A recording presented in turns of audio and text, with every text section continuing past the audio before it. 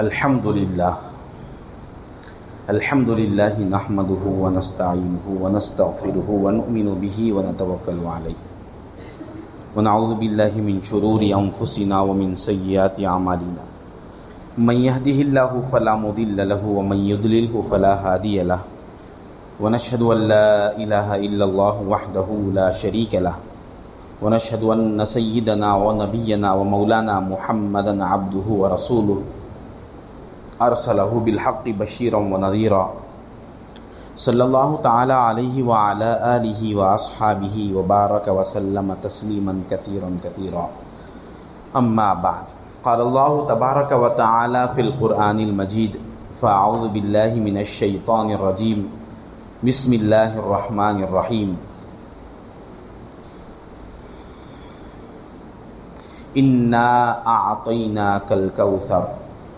रहीम इन्ना आतैनाकल कौसर फसल्ली रब्बिक वनहर इन शानी अका हुवल अबतर सदक़ल्लाहु मौलाना अज़ीम व सदक़ रसूलुहुन्नबियुल अमीनुल करीम व नहनु अला ज़ालिका लमिनश शाहिदीन वश्शाकिरीन वज़्ज़ाकिरीन वल्हम्दुलिल्लाहि रब्बिल आलमीन वक़ाल अल्लाहु तआला फ़ी शअनि हबीबिही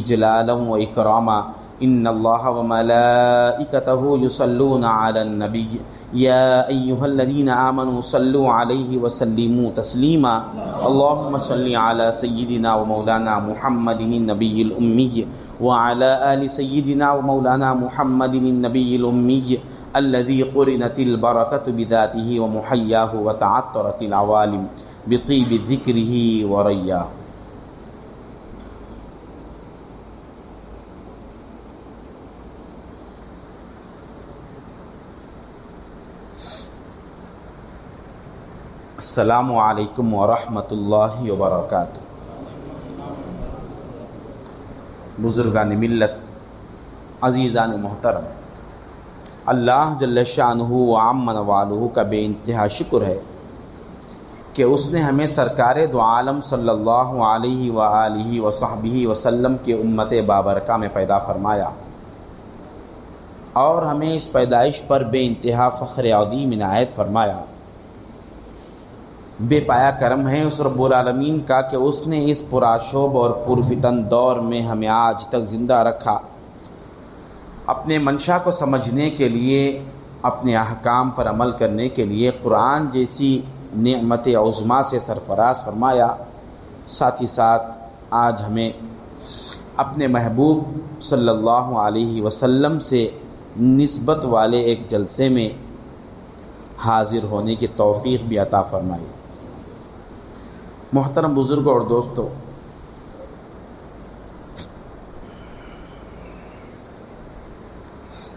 सरकार दो आलम सल्लल्लाहु अलैहि वसल्लम के इज़्ज़त और एहतराम और आपके नामूस की जो हिफाजत है,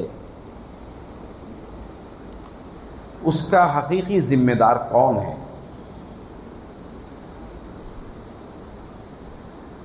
हम तो जलसा मनाते हैं और मुख्तलिफ़ मकाम में, हिंदुस्तान भर में, हुजूर के शान में गुस्ताखी पर तहफ़ नामूस रिसारत पर जलसे भी हुए हैं। पहले हमें ये जानना चाहिए कि सरकार दो आलम के नामूस की हिफाजत का ज़िम्मा किसका है? क्या हम सरकार दो आलम के गुस्ताखी पर अगर हम अपनी आवाज़ उठाएँगे तो क्या ये हमारा हकीकी ज़िम्मा है? क्या हम उसका बदल दे सकते हैं?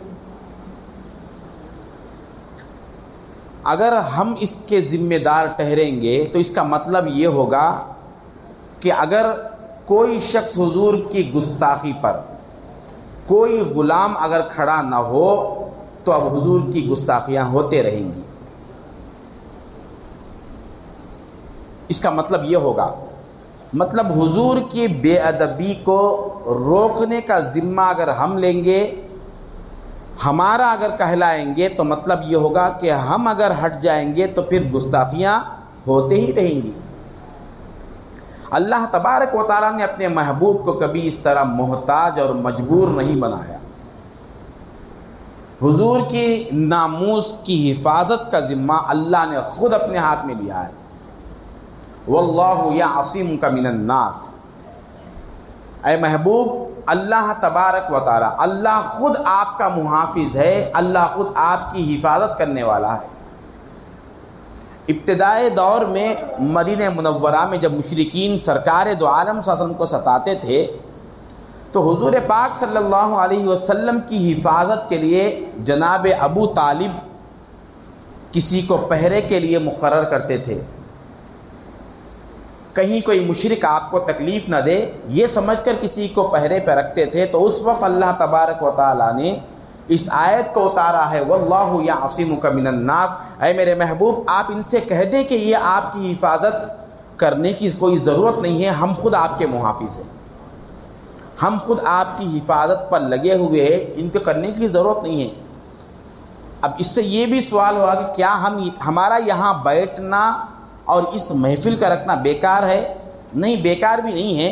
अल्लाह तबारक व ताली किसी से जब हिफाजत करता है तो किसी के ज़रिए से कराता है। और जिसको अपने महबूस के रिसालत की हिफाजत के लिए चुनता है, वो कायनात में मुआज़ हो जाता है। उसको फिर अल्लाह तबारक व ताली बहुत बड़ा मकाम देते हैं। उसको अल्लाह ताला बहुत बड़ा मकाम अता फरमाते हैं। जैसे आप गौर फरमाइए, हिजरत का जो वाक़ पेश आया, जिसमें सरकार दो आलम सल्लल्लाहु अलैहि वसल्लम ने दो मुहाफिज का इंतखब फरमाया। दो आदमी को, दो शख्सियतों की हिफाजत सरकार दो आलम सल्लल्लाहु अलैहि वसल्लम ने तलब फरमाई। एक हज़रत सैदना अली मुर्तज़ा शेर खुदा रज़ी अल्लाह तु दूसरे सैदना अबू बकर सिद्दीक रज़ी अल्लाह तु हैं। एक को अपने बिस्तर पर सुला दिया और एक को अपने साथ लेकर सफ़र में निकल गए। और तारीख में ये दो हस्तियों को जो अल्लाह ने मकाम दिया, ये मकाम किसी और को नहीं दिया। इसमें बहुत बड़ा इशारा है कि अल्लाह तबारक व ताली ने इन दोनों का जो इंतखब फरमाया, जब हुजूर पाक वसल्लम मक्के से निकलकर मदीने की तरफ़ जा रहे थे, सारे मुशरकिन सरकार दो आलम वसल्लम के दर दौलत का मुहासरा कर लिए थे, घर का मुहासरा कर लिए थे। उस वक्त हुजूर सल्लल्लाहु अलैहि वसल्लम ने हज़रत अली रज़ी अल्लाह तु को अपने बिस्तर पर सुला दिया और कहा कि अय अली, तुम मेरे बिस्तर पर सो जाओ और जो अमानत मुशरकी ने मक्का की मेरे पास है, वो कल सुबह उठने के बाद उनकी अपनी अमानतें उनको हवाले कर दो और कल तुम मदीने को हिजरत करके आ जाओ। और दूसरे थे सईद अबू बकर सिद्दीक रज़ी अल्लाह तु उनको रास्ते में अपना मुहाफिज बनाया। अपना मुहाफिज बनाकर साथ लेकर चले। ये दो वाकयात में दो बड़ी बातों की तरफ़ इशारा है। एक तो ये है, अपने अमानतों का मुहाफिज जो बना रहे हैं तो इसमें इस बात की तरफ़ इशारा है कि अल्लाह ताला ने, अल्लाह तबारक वाली ने अपने इल्म व इरफान की जो दौलत उम्मत तक पहुंचाना है, वो अमानत जो सरकार दो आलम सल्लल्लाहु अलैहि वसल्लम को अल्लाह ने दिया उस अमानत को उम्मत तक पहुँचाने के लिए हज़रत अली रज़ी अल्लाह तहु को मुकर किया जाएगा। इस बात की तरफ़ इशारा है कि अब इल्म नबूवत सरकार दो आलम वसल्लम का जो इल्म है, वो जब आगे पहुंचेगा तो वह हज़रत अली रज़ी अल्लाह तु के ज़रिए से पहुंचेगा। अब यहाँ पर हज़रत सिद्दीक अकबर रज़ी अल्लाह तु को जो साथ लेकर गए, हुजूर के खुद वो मुहाफिज थे। आपको साथ लेकर गए, उसमें यह इशारा था, अब नबूवत के दीगर जो कुछ मसाइल है, खिलाफत के जो कुछ मसाइल है, वो सारे मसाइल के जिम्मेदार हज़रत अबू बकर सिद्दीक रज़ी अल्लाह तु होंगे। इधर खिलाफत की ज़िम्मेदारी देने के लिए हज़रत अबू बकर सिद्दीक रज़ी अल्लाह तु का इंतखब हुआ। और इधर इमामत और इल्म नबूवत के फैलाने का जो निज़ाम चलना था, उसके लिए हज़रत अली रज़ी अल्लाह तु का इंतखब हुआ। जो हुजूर का जितना बड़ा मुहाफिज था और हुजूर के हिफाजत का जो ज़िम्मा लिया है, अल्लाह ताला ने उन्हें बहुत बड़ा मकाम दिया। अब आपको और मालूम है इस ये बात कि सरकार दो आलम सल्लल्लाहु अलैहि वसल्लम के मौका दर मौका अलग अलग खादिम हुआ करते थे। सहाबा कराम रज़ी अल्लाह तजमैन को जो अल्लाह ने हुजूर की खिदमत के लिए चुना है, ये मामूली बात नहीं है, इसमें बहुत बड़ी हिकमत है। हम क्यों सहाबा बनकर पैदा नहीं हुए? कभी ये सवाल पैदा होगा ना? हम अगर सहाबा होकर पैदा होते तो क्या अच्छा होता था? हम अगर उस दौर में पैदा होते तो मुनाफिकीन में शुमार होते थे। मुनाफिकीन में शुमार होते थे। क्योंकि जैसे अभी बात आई थी कि सरकार दो आलम सल्लल्लाहु अलैहि वसल्लम का कोई हुक्म आ जाए और उसको पूरा ना करे तो सहाबा उसको मुनाफिक समझते थे। मैं सहाबा के फहम की बात कर रहा हूँ, मैं अपनी बात नहीं। अगर कोई मौलवी कहकर, कोई आलिम कहकर बोलेंगे तो उन पर लान तान करेंगे। मगर सहाबा कराम ये समझते थे कि ये हुक्म रसूल के खिलाफ किया है तो ये मुसलमान नहीं हो सकता। उनके पास एक एक ही फतवा था, दूसरा फतवा नहीं था उनके पास। वो उसको रास्त मुनाफिक समझते थे। तो सरकार दो आलम सरसम की खिदमत अकदस के लिए अल्लाह ताला ने जिन नफूस कुदसिया का इंतखब किया, वो सहाबा कराम थे। इसीलिए सरकार दो आलम फरमाते हैं, अल्लाह तबारक वाली ने आदम सलाम की सारी नस्ल को छांट कर देख लिया। और उनमें से जो सबसे बेहतरीन और बादब नफूस अल्लाह ने देखा तो, तो उनको सरकार दो आलम की खिदमत के लिए इंतखब किया। सब में जो बेहतरीन क्वालिटी वाले अदब और एहतराम में जान निसारी करने में जो सबसे आला तरीन थे जो कुर्बान होने में सबसे अव्वल थे जो एहतराम करने में हदों को पार कर देने वाले थे उन लोगों को सरकार दो आलम की खिदमत के लिए अल्लाह ने इंतखा फरमाया। हम वैसा अदब नहीं कर सकते थे। अब देखिए उनका अदब क्या होता था। उनका अदब क्या होता था? सारा दिन हुजूर की खिदमत के लिए अलग अलग साहबा मुकर होते थे। जब रात हो जाता तो रात की खिदमत के लिए कुछ अलग हजरात मुकर थे। रात के लिए भी अलग मुकर थे। और कैसी खिदमत करते थे? और कौन करते थे? ये भी सीरत में लिखा हुआ है। मैं आपका वक्त इंशाल्लाह ज़ाय नहीं करूँगा। वो बातें बताऊँगा जिससे आपको पता चले कि सरकार दो आलम की ज़ात वाला है क्या? आपकी शान किस किस अंदाज से अल्लाह तबारक वाली दुनिया में रोनुमा फरमाया है? तो आपके खिदमत अकदस के लिए रात का जो माहौल है, मैं वो अर्ज़ कर रहा हूँ। उसके लिए, रात में खिदमत करने के लिए चार सहाबा मुखर थे। और चारों का नाम अब्दुल्ला था। चार सहाबा थे। ये किस खिदमत के लिए थे? सरकार दो आलम सल्लल्लाहु अलैहि वसल्लम अगर रात में बेदार हो जाए, आँख खुले हुजूर की, तहारत का तकाजा हो या वज़ू फरमाने का तकाजा हो तो इस तकाजे को पूरा करने के लिए चार हजरात मुकर थे। अब ये क्या करते, क्या थे इनका तरीका देखिए। क्योंकि इस जमाने की तरह अटैच बाथरूम नहीं या घर में भी बाथरूम नहीं होते थे। दूर किसी आसरे में जाते थे और वहाँ फारिग होने का निज़ाम था। इस तरह के ड्रेनेज सिस्टम नहीं था उस वक्त। इसीलिए सरकार दो के इंतज़ार में होते थे। और चारों का काम यह होता था, वो चार कौन थे नाम सुन लीजिए पहले। एक हज़रत सईदना अब्दुल्ला बिन उमर रज़ी अल्लाह तुमा दूसरे हज़रत सईदना अब्दुल्ला बिन अब्बास रज़ी अल्लाह तीसरे थे हज़रत अब्दुल्ला बिन मसऊद रज़ी अल्लाह तुमा एक अब्दुल्ला बिन उमर, अब्दुल्ला बिन अब्बास और एक अब्दुल्ला बिन मसऊद रज़ी अल्लाह तु तीन हजरात इतने मुआज़ थे। इनको अल्लाह तबारक ने बहुत बड़ा मकाम अता किया। तीन हजरात थे। बाद रिवायत में चौथे अब्दुल्ला बिन जैद का भी रिवायत आके है, लेकिन ज़्यादातर ये तीन हजरात रहते थे। तीन, इनको अबादल सलासा कहते हैं। चार अब्दुल्ला या तीन अब्दुल्ला कहते हैं। इन तीनों का काम क्या था? ये तकसीम कैसा करते थे आपस में? तकसीम ये होता था, एक इन तीनों में से उस मकाम को जाकर साफ़ कर लेते थे, जहाँ पर सरकार दो आलम इस्तिंजा तहारत फरमाने के लिए जाते थे। वहाँ के हिस्से को अच्छी तरह पाक साफ़ कर लेते, कहीं कांटे वगैरह ना हो, वो देख लेते थे। और दूसरे का काम यह होता था कि जिस रास्ते से सरकार दो आलम गुजर कर वहाँ पहुँचना था, उस रास्ते को साफ़ करते थे कि रास्ते में कहीं कांटे वगैरह ना हो, कोई नोकीले पत्थर ना हो, उसको भी साफ़ करते थे। हालाँकि हुजूर की शान ये थी, अगर नोकीले पत्थर पर खदम में मुबारक रख देते तो वो नरम हो जाता था पत्थर। नोकीले पत्थर पर पैर रख देते तो वो नरम हो जाता था। ये नरम हो जाना, ये अल्लाह की हिफाजत है।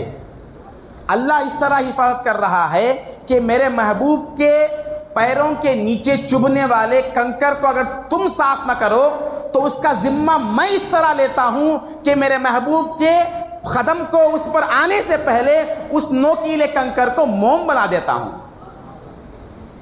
अल्लाह की हिफाजत यह है, अगर ये लोग इस तरह से मुखर नहीं होते,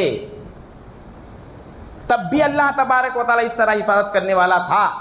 मगर जिन्होंने इस ताजीम को और हुजूर की हिफाजत का जिम्मा उठाया, उनको मकाम क्या मिला देखिए। और एक का काम यह था कि जब सरकार दो आलम बेदार हो जाए तो हुजूर की खिदमत में वज़ू का प्याला या पानी को पेश करे, ये काम था।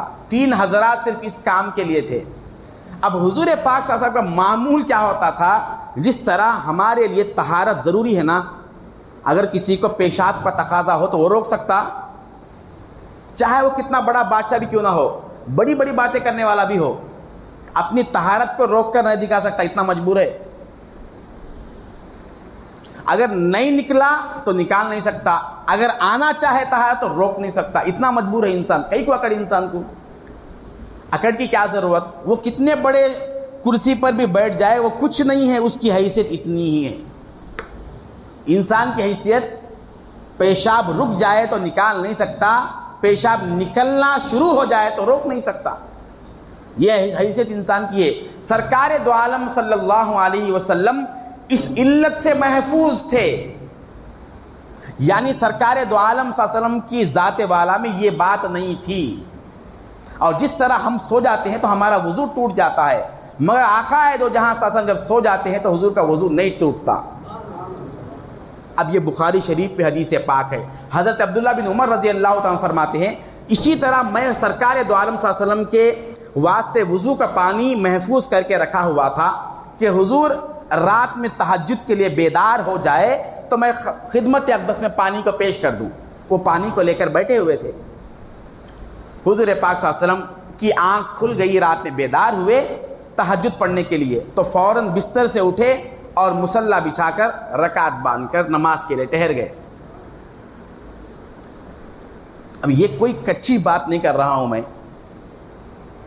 कोई कच्ची बात नहीं कर रहा हूँ। ये कायनात में यही एक जाते वाला है, जिनके ज़िंदगी के हर मामूली से मामूली अदा को भी अल्लाह ताला ने महफूज किया। ये मामूली का लफ्ज मैं समझाने के लिए अर्ज़ कर रहा हूँ, वरना कोई हिस्सा मामूली होता ही नहीं हुजूर का। जिसको आमतौर से हम मामूल समझते हैं, इतने चीज़ों को महफूज किया गया है। अब बताइए, मैं जब गुफ्तु कर रहा हूँ तो गुफ्तु के दौरान कितने बार अपने हाथों को हरकत किया और कौन सा लफ्ज अदा करते हुए किस तरह हाथ को हरकत में दिया आप हजरात महफूज भी नहीं किए होंगे और महफूज करने की चीज़ भी नहीं है वो। सहाबा कराम रज़ी अल्लाह मजमैन जब सरकार दो आलम की खिदमत अकदस में बैठते थे तो वो इन इशारों को भी महफूज करते थे। जिस तरह एक एक लफ्ज को महफूज करते थे, उसी तरह एक एक इशारे को भी महफूज फरमाते थे। यहाँ तक के साहबा ने फरमाया, कभी कोई हदीस बयान करते हुए हुजूर पाक के दाढ़ नज़र आते तो फरमाते थे, हत्ता बदत हत्ता बदत तवाही न हो हत्ता बदत नवाजिलहू। फरमाते थे कि सरकार इतना मुस्कुरा पड़े कि हुजूर सल्लल्लाहु अलैहि वसल्लम की दाढ़ नज़र आए। हुजूर शासन की ये सामने की दातें नज़र आ गई है। इतना कौन नकल करता? ये कैफियत के साथ बता रहे हैं। यहाँ तक कि जब एक सहाबी रसूल ताबीन के सामने हदीस बयान कर रहे थे कि हुजूर ने फरमाया कि कुर्बानी के लिए हुजूर ने चार जानवरों को जायज़ करार दिया। और वो फरमा रहे हैं, जिस वक्त हुजूर सल्लल्लाहु अलैहि वसल्लम ये हदीस बयान कर रहे थे चार जानवरों को अल्लाह ने कुर्बानी के लिए हलाल फरमाया। तो ये कहते हुए चार उंगलियों का हुजूर ने इशारा फरमाया। वो इशारा भी कर रहे हैं साथ में। ये इस तरह से महफूज क्यों है? कोई धब्बा ना लगाए। इस जाते वाला की ज़िंदगी पर कोई ये ना कह सके कि इनकी ज़िंदगी का ये पहलू छुप गया है। कोई इस तरह का धब्बा भी ना लगा सके, इसलिए यह एहतमाम हो रहा है। वो साहबी फरमाते हैं कि हुजूर ने चार उंगलियों को इस तरह से इशारा फरमाया, ये चार। चार इस तरह से। चार का इस इशारा इस तरह से भी हो सकता है, उल्टे हाथ से भी। वो कह रहे हैं कि इस तरह से हुजूर ने इशारा नहीं फरमाया, इस तरह से फरमाया। ये कहने के बाद सहाबी रसूल रो पड़े। हुजूर की याद आ गई उनको। हुजूर की याद आ गई, ये इशारा कहते हुए, उनके नज़र में, उनके आँखों में वो मंजर ताज़ा हो गया जो हुजूर ने इशारा फरमाया था।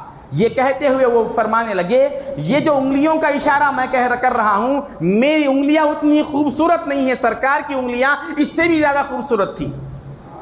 मैं जो इशारा कर रहा हूँ कि हुजूर ने इस तरह इशारा फरमाया है, मेरी उंगलियाँ वैसी नहीं है, हुजूर की उंगलियाँ मुझसे भी बेहतर थी।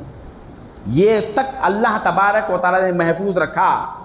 तो वो आखिया में अर्ज़ कर रहा था, जब सरकार दो आलम तहजद के लिए बेदार हुए, वज़ू नहीं फरमाए और नमाज़ के लिए तहजद के लिए रकात बाँध लिए। दो रकात हजूर ने रकात बांधकर नमाज़ अदा की, फिर उसके बाद फ़ौरन लेट गए और आराम करने लगे। यहाँ तक कि हज़रत अब्दुल्ला बिन अब्बास फरमाते हैं कि हुजूर की हल्की सी खराटे की आवाज़ भी आने लगी। बिल्कुल आवाज़ नहीं आना यह भी बीमारी की अलामत है। और बड़ी बड़ी आवाज़ें आना, वो भी बीमारी की अलामत है। हल्की सी आवाज़ आना यह कामिल सेहत की अलामत है। और गहरे नींद की अलामत है। वो कह रहे देखिए, कहाँ तक महफूज किया हुजूर की ज़िंदगी को?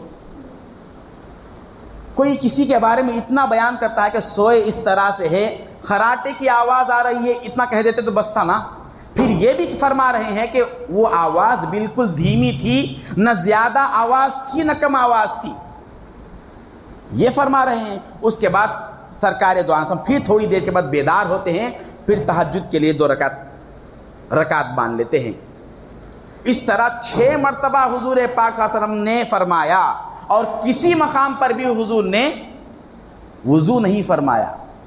अब बताइए क्या सरकार दो आलम सल्लल्लाहु अलैहि वसल्लम को हमारे साथ कोई मुमासलत है? ये क्यों था? हुजूर फरमाते हैं कि तनाम ऐना या वला नाम कलबी। तुम जब सो जाते हो तो तुम्हारी आँख भी सो जाती है, तुम्हारा दिल भी सो जाता है। लेकिन जब मैं सोता हूँ तो मेरी आँख सोती है, मेरा दिल नहीं सोता। तुम अपने अतराफ अकनाफ रहने वाली चीज़ों से गाफिल हो जाते हो सोने के बाद। हमारी चीज़ें चोरी हो जाए, हमें मालूम नहीं होता। हमारे घर में चोर घुस जाए, हमें मालूम नहीं होता। हुजूर फरमा रहे हैं, मेरा दिल बेदार रहता है, इसलिए वज़ू भी नहीं टूटता था हुजूर का। शान तो ये थी, मगर कभी कभी बतला देते थे साहबा कराम को, उम्मत को दर्श देने के वास्ते। तो बात ये थी, ये तीन हजरात थे जो हुजूर की इस खिदमत के लिए मामूर थे। वो इंतज़ार में रहते थे, सारी रात नहीं सोते थे, खिदमत में रहते थे। इसीलिए अल्लाह तबारक वाली ने अपने महबूब की खिदमत के लिए इन पाकिजा नफूस को चुनकर अपने महबूब के सोहबत में लाके रखा। इन पाकिजा लोगों को रखा, इसलिए कि ये खिदमत गुजार इतने थे। इनको सिले में क्या मिला? ये अगर खिदमत नहीं करते थे तो अल्लाह तबारक वाली आपके हर ज़रूरत का इंतज़ाम कर देता था। ये खिदमत करने की वजह से क्या हुए? इनमें से हज़रत अब्दुल्ला बिन अब्बास ये मुफसर कुरान बने। दूसरे हज़रत अब्दुल्ला बिन उमर इस उम्मत में सबसे बड़े मुहदस बने। और तीसरे अब्दुल्ला बिन मसूद ये इस उम्मत के सबसे बड़े फ़कीह बने। फ़िका को जानने वाले फ़िका को समझने वाले, मसाइल को कुरान हदीस से लेने वाले बने। ये तीन इस्लाम के बहुत बड़े शोबे हैं।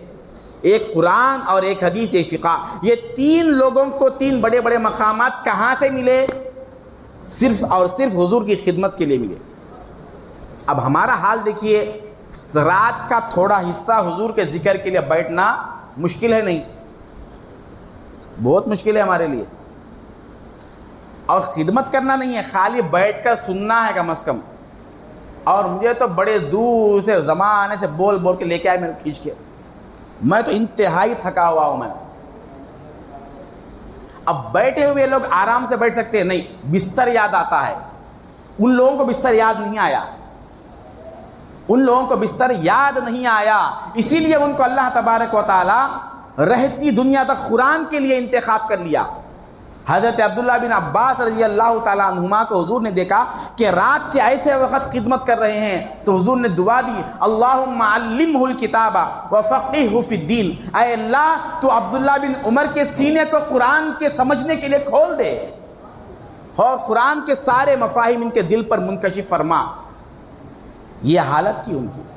तो बात यह अर्ज़ करना था, सवाल में यह शुरू किया कि सरकार दो आलम सल्लल्लाहु अलैहि वसल्लम की हिफाजत हुजूर का सबसे बड़ा मुहाफिज अल्लाह तबारक व ताला है। और उसके लिए अल्लाह ने इन हजरात का इंतखब फरमाया। आपको मालूम है, यहाँ तक कि सरकार दो ने अपनी सारी ज़िंदगी में जितने ऊँट हुजूर ने इंतखब किया, सवारी फरमाए, उनके नाम और उन ऊंटों की भी सीरत महफूज है। कौन है कायनात में ऐसा? और जितने गधे हुजूर ने अपने सवारी के लिए सवार फरमाए थे, उनके नाम भी महफूज है। उनके नाम महफूज है, वो गधे कहाँ से खरीद कर लाए थे, उनकी सीरत क्या है, वो भी महफूज है। कितने घोड़े थे, उनके नाम महफूज है। अरे, नाम तक महफूज है। जानवरों को नाम कौन रखता, दोस्त? हुजूर की जो ऊंटनियाँ थी, जिन पर हुजूर सवार होते थे, उनके नाम थे अजबा, कस्वा, शहबा जदा चार ऊंटे थी सारी ज़िंदगी में जो हजूर सवार हुए थे। इन चार ऊंटनियों के नाम हैं। और दो गधे थे जिन पर सारी ज़िंदगी में सवार फरमाए थे। एक का नाम उफैर था, दूसरे का नाम याफूर था। दो खच्चर थे, जीबरा जिसको कहते हैं। जो दो खच्चर थे जिस पर हुजूर ने सवारी फरमाई, एक का नाम दुलदुल और दूसरे का नाम फिजा था। यहाँ तक जो सीरत महफूज है, अल्लाह तबारक वाली कभी कोई धब्बा ना लगाए मेरे महबूब के ज़ात पर। यह एहतमाम करने के लिए अल्लाह तबारक वाली ने यह इंतज़ाम फरमाकर सरकार दो आलम की सीरत को सारी कायनात के सामने पेश किया। अल्लाह तो ज़ाहिर कर दिया, मगर हमने उसको छुपा दिया। हम तो ये तो अल्लाह ताला ज़ाहिर कर दिया, हमने उसको छुपा दिया। ये तो बाहर के जो चीज़ा थे, सब अल्लाह बता दिया। मगर सरकार दो आलम सल्लल्लाहु अलैहि वसल्लम के हकीकी जो अखलाक थे, जिसको देखकर सारी कायनात जंग होना था, उन अखलाक को हमने कायनात के सामने पेश नहीं किया। बताइए कहा हमने पेश किया? हमारे अंदर यहूद और नसारा के तौर तरीके आ गए। हम यहूदियों को ज़ाहिर कर रहे हैं, हम ईसाइयों को बता रहे हैं, उनके तौर और तरीक़ा को इख्तियार करके बता रहे हैं कि ऐसे थे मोहम्मद रसुल्ला वरना कसम खुदा की कोई हुजूर के शान में गुस्ताखी नहीं करता था। हुजूर के अखलाक तो इतने थे, इतने आली थे, दुश्मन भी हुजूर की तारीफ़ करते थे। ये एक कायनात में वाहिद ज़ात है। हज़रत अबू सुफियान जब अभी इस्लाम नहीं लाए थे, उनके सामने नजाशी बादशाह ने पूछा कि वो जो नबी तुम्हारे सामने आए थे, तुम्हारे दरमियान नबुआ का दावा कर रहे थे, उनकी अलामतें बताओ, उनके कुछ अवसाफ बताओ। उनके अवसाफ बताओ। तो वो चाहते थे कि मैं हुजूर के कुछ ऐसे अवसाफ बताऊँ, जिससे ये हुजूर के नबी बरहक न होने को समझ जाए। ऐसे अवसाफ बताना था वहाँ पर। दुश्मनी के लिए आए थे। मगर जब नजाशी बादशाह ने पूछा कि बताओ, वो शख्स जो तुम्हारे दरमियान नबुवत का दावा किया है, क्या उसने कभी झूठ बोला? क्या उन्होंने कभी झूठ कहा है? तो अबू सुफियान खुद फरमाते हैं, मेरे दिल में ख्याल आया कि मैं कह दूँ कि ये झूठ बोलने वाले थे। दिल में ख्याल आया तो फिर दिल में खुद ये जवाब आपको मिलता है कि दिन दहाड़े सूरज का इनकार करना कितनी बेवकूफ़ी है, उतनी ही बेवकूफ़ी हुजूर के सच्चाई से इनकार करना है। अरे दुश्मन है, मारना चाहते हैं, कत्ल करना चाहते हैं, जान के लाले पड़े हुए हैं, मगर जब अवसाफ पूछे जा रहे हैं तो बताओ कि झूठे या सच्चे हैं तो दुश्मन भी झूठा बोल ना सका। आज हमारे अंदर वो सच्चाई है। मुसलमान एक बात पे अड़ गया तो बस अड़ गया, वो मर सकता है मगर झूठ नहीं बोल सकता है। वो मर सकता है मगर वादा खिलाफी कभी कर नहीं सकता। आज मुसलमान कितने वादा खिलाफी में है? जो टाइम हमने पेश किया, उस टाइम पे हाजिर नहीं होते। जो वादा किए वादे पूरा नहीं करते। भूल गया था, सो गया था ट्रैफ़िक में फंस गया था, हज़ारों बहाने लगाते। मतलब अपने बात का वज़न ही नहीं है। बतलाना था सारी दुनिया को, मुसलमान झूठ नहीं बोलता। मुसलमान की निगाह खराब नहीं होती। लोग सहाबा ईमान लाने के बाद मुशरकिन को मालूम कैसे होता था? उनके अखलाक के बदले हुए अतवार देख कर समझते थे कि ये किसी और दीन का ताबे हो गया है, ये किसी और का गुलाम हो गया है। वो अवसाफ देख कर पहचानते थे। मक्का मुकर्रमा में एक सहाबी रसूल थे, हारिस जिनका नाम था। एक औरत के साथ उनके नाजायज ताल्लुकात थे, अभी ईमान नहीं लाए थे। जब वो ईमान लाए और हिजरत करके मदीना मुनव्वरा आ गए तो उनके कुछ कारोबारी मामलात मदीन मुनव्वरा में थे, मक्के में थे तो वो कारोबारी मसाइल के लिए मक्के को आए तो वहाँ पर वो औरत से मुलाकात हो गई, जिससे जमाने जाहिलियत में, इस्लाम लाने से पहले उनके ताल्लुकात थे। वो उनको बुलाकर अपने घर में बिठाती है, बिठाना चाहती है तो वो निगाह उठाकर भी नहीं देखते। वो कहने लगी, ताजिब से आए, हारिस, तुम्हें क्या हो गया? तुम तो वो थे, मेरे हुसन पर मरते थे तुम मेरे घर के चक्कर लगाते थे, तवाफ करते थे। आज मैं खुद तुम्हें घर में बुला रही हूँ तो तुम आने के लिए तैयार नहीं है। क्या बात है? तुम्हारे आँखों पे वो कौन सा हुसन छा गया, जिसने मेरे हुसन को कमतर कर दिया है? क्या हो गया तुम्हें? कहा कि तुमने सच कहा, मैं एक और हसीन का आशिक हो चुका। अब ये निगाह तुम्हारी तरफ़ पलट नहीं सकती। तुम क्या तुम्हारी जैसे हज़ार भी आ जाए, मेरी निगाह अब इसकी तरफ़ पलट नहीं सकती। निगाह उठाकर भी नहीं देखे और उसको खिलाफ समझा, मैं गुलाम हूँ आकाए दो जहाँ का। बतला दिया कि मैं किसी और मज़हब का पाबंद हूँ, मैं किसी ऐसे जात का गुलाम हूँ कि उस जात की गुलामी में आने के बाद किसी गैर की तरफ़ उठाकर निगाह भर कर देखना भी ये गुलामी में फ़र्क आने वाली चीज़ है। ये साबित किया उन्होंने। ये देखकर वो खातून जानी फाहिशा है। अपने जिसम को बेचने वाली है। वो कहती है कि हारिस, क्या वो तुम्हारा हसीन इतना ज़्यादा हुसन वाला है? तो मुझे भी उसका असीर बना दो, मुझको भी उसका गुलाम बना दो, मैं यहाँ रहकर क्या करूँगी? ये कहकर वो भी इस्लाम लाती है और हिजरत करके मदीना मुनवर आती है और सहाबियात में शुमार होती है। ये मकाम था। अपने अवसाब और अखलाक से बताए उन्होंने। हमारा क्या हाल है? मुसलमान मुसलमान पर ही जुल्म करता है। काफिरों पर हम मेहरबानी करके अखलाक को कहाँ बताएँगे सरकार की? नहीं कर रहे? जहाँ हम शादियाँ करते, कितने पैसे ले रहे हम? जुल्म नहीं है ये। ये मीठा जुल्म है ये। जैसे मीठा जहर कहते ना, जहर मीठा रहा तो वो उसके अंदर से जहर का असर खत्म नहीं होता। मीठा जहर है। हमारे पास जो जुल्म के तरीके वो मीठे किस्म के हैं। दूसरों को सता देना, दूसरों के जमीनें हड़प कर लेना, माल हड़प कर लेना, सताना, ये कौन सी मुसलमानी है? हुजूर की सारी ज़िंदगी उठाकर देख ले, कभी कोई एक हदीस, कोई एक फिक्रा बता दे जिसमें हुजूर ने किसी को तकलीफ़ दी हो। कोई ऐसा वाकया नहीं है। सारी ज़िंदगी भरी पड़ी है। काफिरों पर भी इतने मेहरबान थे। वो उस मेहरबानी को देखकर पलट गए थे इस्लाम की तरफ़। इस्लाम इतना सेंसिटिव मज़हब है, पूछिए मत। इतना नफीस मज़हब आपको कभी नहीं, कहीं नहीं मिलेगा। यहाँ तक कि किसी के माल को तकलीफ़ देना, जान को तकलीफ़ देना दूर की बात है। किसी के दिल को भी तकलीफ़ पहुंचाना मज़हब इस्लाम में बहुत बड़ा गुना है। सरकार दो आलम साहब निशात फरमाया, हुजूर ने इशाद फरमाया कि काबे को गिराना कम गुना है काबे को तोड़ना कम गुना है, किसी मुसलमान के दिल को तोड़ना उससे बड़ा गुना है और खाने काबा की तरफ़ मुतवजे होकर हुजूर ईशा फरमाते हैं, आए खाने काबा, तुझे आदम सलाम ने सबसे पहली मरतबा तामीर किया था। नू सलाम के तूफ़ान में तेरी दीवारें गिर गई। फिर उसके बाद इब्राहिम सलाम ने तुझे तामीर फरमाया। फिर खुरैश के ज़माने में जब तूफ़ान आया था, एक पानी का सैलाब आया था तो फिर गिर गया था। अहले कुरैश ने तुझे फिर तामीर की। अय काबा, तू गिरता रहेगा, लोग तुझे तामीर करेंगे। तू टूटता रहेगा, लोग तुझे तामीर करेंगे। मगर एक मुसलमान के दिल का मकाम अल्लाह के पास वो है। अगर वो टूट जाए, सारी कायनात मिलकर उसको जोड़ नहीं सकती। एक मुसलमान के दिल का मकाम हजूर फरमा रहे हैं। किसी के दिल को तकलीफ़ मत दो। हम कितने के दिलों को तकलीफ़ दिए हैं? एक वाक्य याद आया सरकार दो आलम के ज़िंदगी का, जंग हुनैन का मौका था। बड़ी अफरा तफरी हो गई थी जंग में। जंग में अचानक जंग का काया पलट गया था। नए नए जो इस्लाम लाए थे, वो लोग बहक गए थे उस हाल को देखकर। तो उनमें से एक सहाबी रसूल, जंग के लिबास में यह भी लिबास शामिल था कि वो लोहे का जूता पहने हुए थे।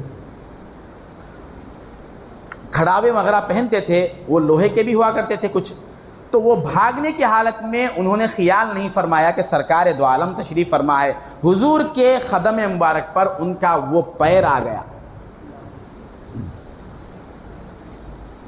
पैर आ गया। तो सरकार दो आलम सल्लल्लाहु अलैहि वसल्लम जो है, बहुत देर तक पैर रखे थे तो हुजूर ने उनको धक्का देकर हटाया, हटाने के लिए थोड़ा सा धक्का दिए और सिर्फ़ इतना फरमाया, औ, जा तनी, तुमने मुझे तकलीफ़ दी है। इतना फरमाए थे। जब हुजूर की आवाज़ सुने तो वो खौफ ज़दा हो गए कि मैं क्या कर दिया ये? मुझसे ये कौन सी बड़ी गलती हो गई कि मेरा पैर हुजूर पाक आज़म के पैर पे चला गया? जंग जब ख़त्म हो गई, सारी रात वो नहीं सोए।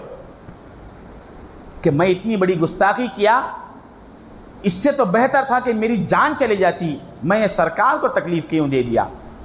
सारी रात इसी हाल में आप घुल रहे थे। सारी रात घुल रहे थे। फजर का वक्त हुआ सुबह में तो हुजूर पाक साहब ने ऐलान फरमाया, वो फुला बिन फुला को बुलाओ।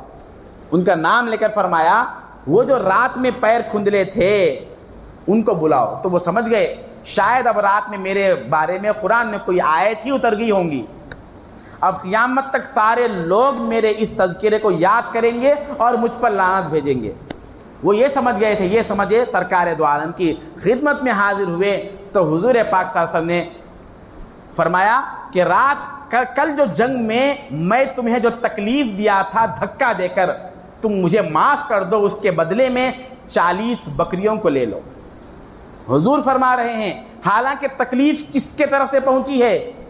उनके तरफ़ से तकलीफ़ पहुँची थी, मगर हुजूर, ये जो धक्का देकर उन्होंने हटाए थे, ये धक्के के बदले में हुजूर ये कह रहे हैं कि इस धक्का देने को माफ़ कर दो और उसके बदले में चालीस बकरियाँ ले लो। वो कदमों में गिर गए, या रसूल तकलीफ़ तो मैं दिया था, तकलीफ़ तो मैं पहुँचाया था आपको और इनाम भी मुझको मिल रहा है। क्यों मिला इनाम? दस्ते मुबारक लग गया था उनको, इसलिए इनाम मिल रहा। हुजूर का दस्ते मुबारक उनको लग गया था। बड़े बड़े लोग बड़ी बड़ी नसीबें उठाकर गए हैं। हमारे घरेलू हालात सही नहीं है आज। खानदानी झगड़े का नहीं है हमारे घरों में। पाक है। हम अभी अपने घर के झगड़ों को हल नहीं कर सके। खानदान के झगड़ों को हल नहीं कर सके। बीवी के मसाइल हल नहीं कर सके। बच्चों के मसाइल हल नहीं कर सके। सरकार दो आलम के नामूस की हिफाजत कहाँ से करेंगे हम? फुर्सत कहाँ से है? हमारा हाल ये, घर में थोड़ा सा सालन में नमक कम है, जंग शुरू हो जाती है हमारे।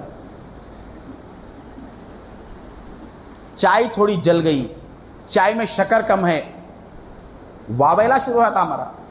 अब वो बीवी को, उसके माँ बाप को और उसके भाई बहनों को, यहाँ तक कि वो दरमियान में जो रिश्ता लगाने वाला रहता ना, उसकी भी शामत आ जाती उसी में। इतनी तो बदमाशी कमीनापन हमारे अंदर है। हम ये सार थोड़ी सी चीज़ों को कभी बर्दाश्त नहीं कर सकते तो सरकार दो आलम सल्लल्लाहु अलैहि वसल्लम के ज़ात पर कोई हर्फ उठाया, इतना बड़ा इशू है, इसको कैसे हल करेंगे हम? क्या अथॉरिटी है हमारे पास?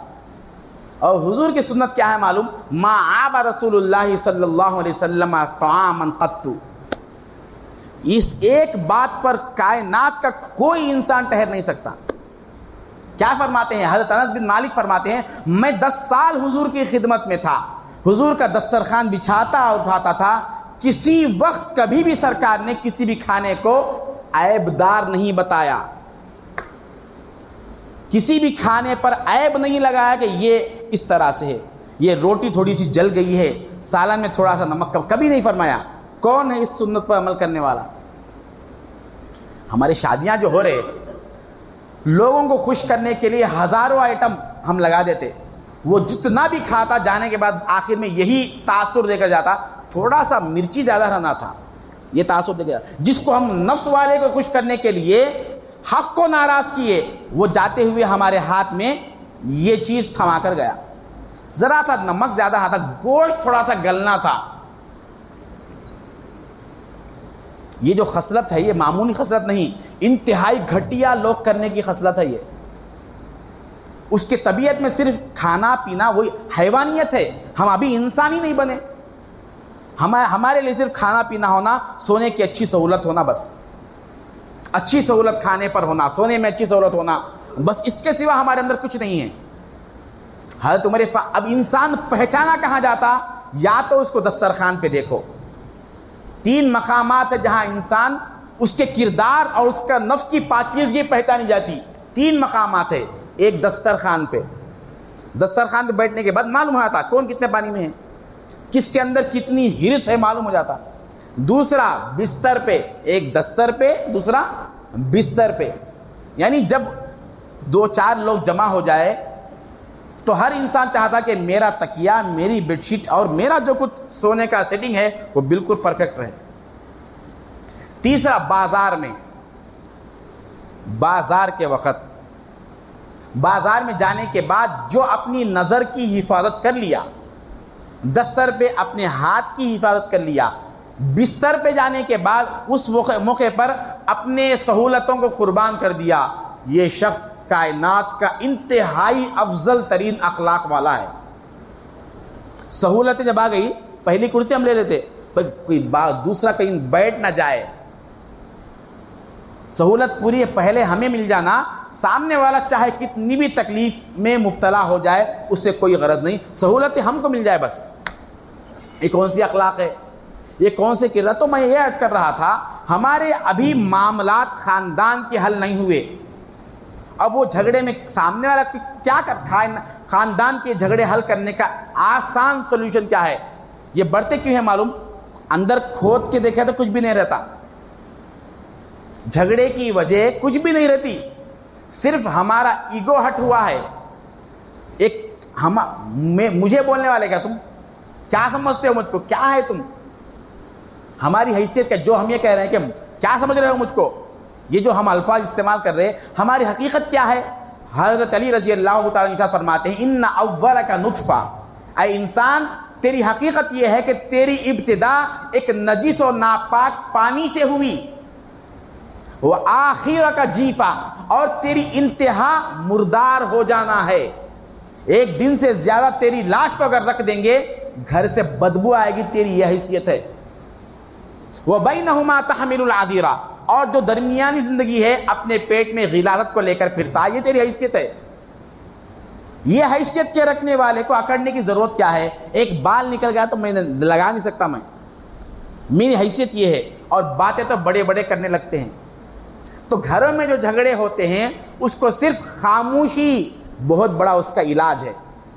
कभी बीवी बढ़कर बोली, थोड़ी देर खामोश हो जाओ।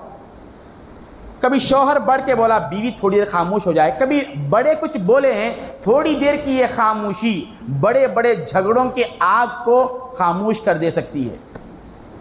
मगर ये काम हम नहीं कर सकते। गुस्सा आ गया, फ़ौरन उस मकाम को छोड़ दें। सरकार दो आलम सल्लल्लाहु अलैहि वसल्लम की सुन्नति साहबा फरमाते हैं, ताबीन ने पूछा कि तुम सरकार दो आलम को जलाल में देखते तो उसकी अलामत क्या होती थी? गुस्से में अगर होते तो उसकी अलामत क्या होती थी? साहबा फरमाते हैं कि सरकार दो आलम अगर गुस्से में होते तो खामोश रहते थे। किसी से बात नहीं करते थे, क्योंकि गुस्से की हालत में इंसान की ज़ुबान शैतान के हाथ में होती है। सही बोलो नहीं? गालियाँ भी देता है इंसान। उस वक्त मालूम होता है इन्हें कौन है। कितना ग्रेजुएट है, ये डॉक्टर है, ये इंजीनियर है, ये आलिम है, ये पीर है, कौन है, उस वक्त मालूम होता उसका असल जो इंसान है, वो बाहर निकल के आता स्टेजों पर, माइकों पर तो सब बड़े बादब रहते साहब।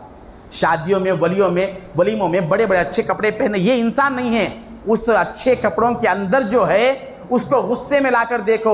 उस वक्त मालूम होगा कि ये कितना खबीस इंसान है। इसके अंदर कितना सबर और जब्त है। अब हुजूर पाक सासम की ज़िंदगी मुबारक देखिए। यहाँ तक कि अब सरकार की ज़िंदगी देखिए अब ये कह रहे हैं कि हुजूर ने इतने शादियाँ फरमाई। शादियाँ तो नज़र आई। वो उन, उन अब हाल तो देखिए एक बीवी को संभालने में नाक में दम आ गई हमारी अब। एक बीवी और उसके खानदान को बर्दाश्त नहीं कर सक रहे हम। शादी करा परेशानी शुरू। एक बीवी को संभाल नहीं सक रहे। और सरकार दो आलम ग्यारह शादियाँ फरमाए। किसी एक बीवी ने नहीं कहा कि सरकार ने कभी हमारे साथ बदसलूकी की हो। किसी ने नहीं फरमाया। और क्या तारीफ़ फरमाती है हज़रत रज़ी अल्लाह तला इन नकल तसीरहिम सरकार दो आलम सल्लल्लाहु अलैहि वसल्लम पर जब इब्तदाई दौर में वही का नजूल हुआ तो हुजूर पाक सल्लल्लाहु अलैहि वसल्लम उनको समझाने के लिए अपने आप को इस तरह से पेश किए और घर आकर कहने लगे अय खदीजा, एक अच्छा बड़ा कंबल उड़ा दो, मुझे जाड़ा हो रहा है। मेरे पास एक ऐसा नामूस आया हुआ है जिसको देखने के बाद मैं खौफ जदा हूँ। हालाँकि हुजूर को खौफ नहीं था, कोई तकलीफ़ नहीं थी। ये क्यों इस तरह से बता रहे हैं हुजूर? अब मैं जो बात नबूवत की पेश करने जा रहा हूँ, उसकी इब्तदा घर से होनी चाहिए। अगर पहले घर ही से उसका इनकार शुरू हो जाए तो फिर कायनात में कोई माने या ना माने, ये कोई माने नहीं रखता। सब सब मुझे बड़ा आलिम कहें, वो कहें, ये कहें, अगर मेरी बीवी मुझे बारे में गलत एतबार और गलत सोच रखे, बेकार इंसान हूँ मैं। मेरे लिए सौ नंबर मेरी बीवी अगर डालेगी तो मैं कामयाब हूँ। मेरे अखलाक तो उसके सामने है ना यहाँ तो मैं पूरा पहन ओढ़ कर हूँ। हुजूर पाक सल्लम सबसे पहले कलीमा जिसको पढ़वाए हैं, वो बीवी थी। वो एक औरत है, वो औरत बीवी है। बताइए, हुजूर वसल्लम कैसे अखलाक का नमूना पेश किए होंगे कि बीवी सबसे पहले कलीमा पढ़ रही है? हुजूर ने जब फरमाया कि मेरे पास एक ऐसा अजीब कोई शख्स आया हुआ है, उससे खौफ जदा हूँ। यह नहीं फरमाया कि जिबरील आए हैं, मैं नबी हो गया हूँ, मुझ पर ईमान लो ये नहीं फरमाया। रास्त नहीं फरमाया। उनको इस तरह की अलामतें ज़ाहिर किए, वो अलामतें देखकर खदीजा खुद जान ले कि मुझे नबूत मिली है। हुजूर ने ऐलान नहीं फरमाया। अलामतें बताए तो हज़रत खदीजतुल कुबरा तौरात और इंजील की आलिमा थी। ये अक्सर लोग को नहीं मालूम। ये कौन थी खातून? तौरात और इंजील की आलिमा थी। उनको मालूम था कि जबरील सलाम की अलामतें क्या है। उस फरिश्ते की खसूसियतें क्या है। वो खसूसियतें हुजूर बता रहे थे। जब उन खसूसियतों को देखा तो खदीतुल्कुबरा ने अपने मामू वरका बिन नौफल के पास लेकर गई। और उन्होंने कहा कि अय खदीजा, खुश हो जा। वो जो नबी आखिर उस जमा के तस्करे तौरात और इंजील में आ रहे थे, वो यही हस्ती है। ये फरमाया तो सबसे पहले खदीजा ने फरमाया, आप आप अल्लाह के रसूल है, मैं ईमान लाती हूँ। इन नकल तसीलरहीम क्यों? आपके अखलाक इस तरह से हैं। इन नकल तसीलरहीम व तहमिल कल व तुकसिबुल मादूम। क्या भाई? बात खत्म कर दूँ? कोई बोल रहे कुछ? खत्म करना तो इशारा फरमा दीजिए। दरमियान में मैं समेट लूँगा। तो फरमाती हैं, आप इतने रहम दिल है, गरीब परवर है, आप पर वही ना आए तो किस पर आएगी? ये बीवी होकर ये तासुर सरकार दो आलम सल्लल्लाहु अलैहि वसल्लम को दे रही है। कभी हज़रत आयशा रज़ी अल्लाह तला बिल्कुल छोटी थी, एतराज़ चल रहा ना उनके बारे में? एतराज़ चल रहा कि बचपन छोटी, मैं सामने वालों के गलतियों को मैं दलील नहीं बताऊँगा। बाज लोगों ने ये दलील दी है, ये मुसलमान भी मन चले हो गए आज। बाद लोगों ने जवाब दे दिया कि राम जो सीता से शादी किया था, उस वक्त सीता की उम्र छह साल की थी। ये तस्करा क्यों भाई ये? मतलब ये हुआ कि हुजूर ने गलती की है नौज बिल्ला तो वो भी गलती की है। ये अदब नहीं, ये बेदबी है ये। ये बेदबी है। इसका मतलब ये हुआ कि पहले हमने मान लिया कि छह साल, सात साल की उम्र की लड़की को शादी करना सही नहीं है तो तुम भी तुम्हारे मज़हब के बड़ों ने भी किया है। लिहाजा आपस में बराबरी कर लेंगे हम। ये बात हो रही है। हम ये कहने वाले नहीं हैं। हम ये बताने वाले हैं कि ये छह, सात साल की उम्र में, नौ साल की उम्र में जो आयशा रज़ी अल्लाह तहा से निकाह फरमाए, उसकी वजह क्या थी?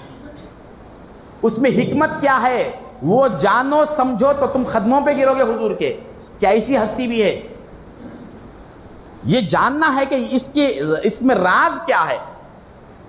इसमें राज क्या है? वजह क्या है? हम ये बताएँगे। ये अदब है। अदब ये इस बात इस चीज़ का नाम है। हुजूर ने क्यों फरमाया? बाज औरतें बड़ी उम्र की भी हो जाती है तो उनमें भोलापन होता। और घर में बच्चियों जैसे काम करती है। शादी होने के बाद बहुत सी औरतें ऐसी रहती, पकाने सही नहीं आता। घर संभालने सही नहीं आता। अब वो शौहर घर वाले सब उस पर बेजार होते रहते। शादी क्यों करे? पकाने आया तो। शादी पकाने के वास्ते करे। बाहर मैक अगर खुला नहीं होता तो मैं बताता था। वरना आप हज़रत, बंद है? चलो अच्छी बात है। बीवी के ऊपर पकाने का कोई जिम्मा हुकूक में नहीं है। घर साफ़ करने का जिम्मा नहीं है। सास ससुरे की खिदमत उस पर वाजिब नहीं है। यहाँ तक के बच्चा जनने के बाद उसको दूध पिलाना भी उसके लिए ज़रूरी और हुकूक में से नहीं है। अगर बीवी कहे कि मैं बच्चे को दूध नहीं पिलाऊँगी, तुम पैसे दो तो पिलाऊँगी तो शौहर को, उसके बच्चे को दूध पिलाने के लिए उसी के माँ को पैसे दिए कर दूध पिलवाना पड़ेगा उसको। इस्लाम औरत का ये मकाम, ये स्टेटस रखा है। पढ़े ही नहीं इस्लाम को। ये मकाम औरत को दिया है। मतलब ये हुआ, कुल मिलाकर औरत को मलिका बनाकर पेश किया है इस्लाम। ये घर की एक बहुत बड़ी मलिका है, काम वाली नहीं है। और हमने अपने अखलाक के ज़रिए से दुनिया वालों को कैसे पेश किया? गोया कि ये इन घर की नौकरानी है। हमारे अखलाक के ज़रिए से हमने ये पेश किया। खैर, हमारी औरतें भी बहुत से दूर तक निकल चुकी है। अगर मलिका बना के रखे तो घर पूरा हमारा तबाह ताराज हो जाता। वो भी मसाइल है। दोनों तरफ़ बराबर होना चाहिए। ना वो सही है, ना ये सही है। क्योंकि ये दोनों भी गुलामी रसूल से खारिज हो चुके हैं। बात तो ये थी। तो सरकार दो आलम सल्लल्लाहु अलैहि वसल्लम ने नौ साल की उम्र में हज़रत आयशा रज़ी अल्लाह तहा से जो अकद फरमाया, उसकी वजह यह थी कि बाद औरतें घर जब अपने ससुराल आती है तो भोले पने वाली होती है।